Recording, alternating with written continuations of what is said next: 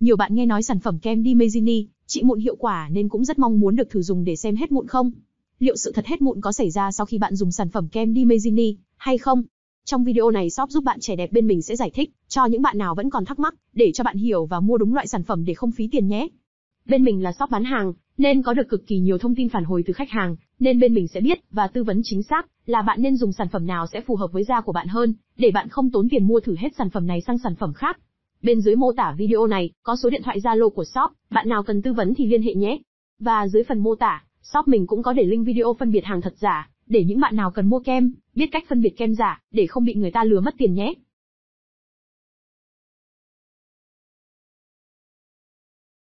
Bạn sẽ thấy quảng cáo là kem Dimezini trị mụn cực hay, cực hiệu quả, nhưng sự thật là không những kem Dimezini có khả năng trị các loại mụn như mụn trứng cá, mụn bọc, mụn viêm, mụn đầu trắng, mụn đầu đen, mụn mù, mụn sưng tấy viêm nhiễm mà kem Dimezini còn có các thành phần hỗ trợ ngăn ngừa mụn và đẩy mụn ẩn ra ngoài giúp sạch da.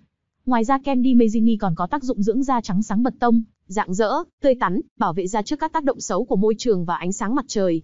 Nên nếu như bạn nào muốn tìm sản phẩm trị mụn thì có thể tìm hiểu thêm về dòng sản phẩm kem Dimezini này nhé.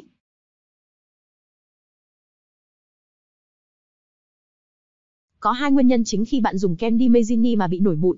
Nguyên nhân đầu tiên là bạn mua phải kem giả nhái.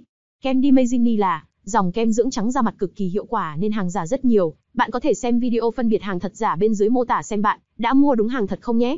Khi dùng phải kem giả da rất dễ nổi mụn, vì các thành phần trong kem giả có chứa nhiều thành phần có tác dụng hiệu quả nhanh trên da, nên nó dễ làm mất lớp bảo vệ da, làm mất cân bằng da dẫn đến da dễ bị mụn sau một thời gian dùng, hoặc bị mụn ngay sau khi dùng kem vài ngày. Và nguyên nhân thứ hai ít gặp hơn là Do da bạn không hợp với kem Dimezini này, thực tế là không phải loại mỹ phẩm nào cũng hợp với mọi loại da, nên sẽ có một số ít người không hợp với kem Dimezini, dẫn đến sử dụng sản phẩm bị mụn. Thế nên khi mua hàng mà người bán cứ cam kết chắc chắn bạn dùng đẹp, thì nên xem xét lại sản phẩm có phù hợp với da của bạn không nhé. Vì không có gì là chắc chắn 100% cả.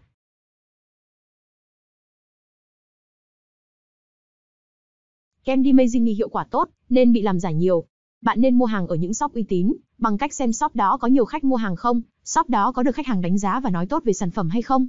Đặc biệt là bạn nên tìm mua ở những shop bán hàng có tâm, họ tư vấn kỹ cho bạn, xem bạn có dùng được không, chứ không phải bán vì tiền thì sẽ yên tâm hơn. Bên shop mình cũng có bán kem Dimezini hàng chính hãng. Shop mình cho bạn kiểm tra hàng trước khi nhận, để đảm bảo bạn không bao giờ bị lừa mua phải hàng giả. Bạn có thể nhắn vào Zalo bên dưới để được nhân viên tư vấn kỹ cho bạn nhé.